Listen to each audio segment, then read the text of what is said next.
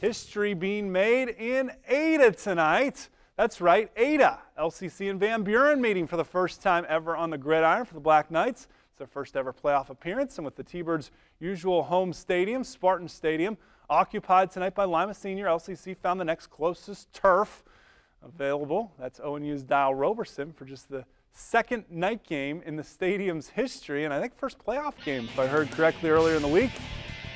Under the lights, near midfield, LCC running the ball with Alex Crummel, busted up the middle.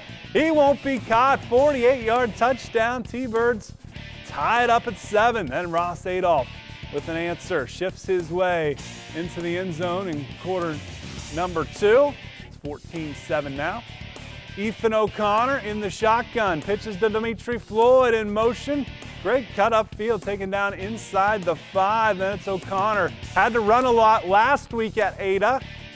And LCC was playing the Bulldogs because of the rain. He punches it in here. Van Buren, though, still leads 14-13. Black Knights back to Adolph. Ross the Haas makes a great cut at midfield.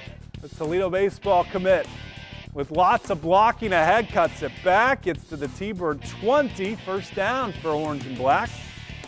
Got some play action from Riley Adolph, rolls out, Braxton Fazzone. Nice catch. That Braxton or Drayton? Fazzone gets the touchdown.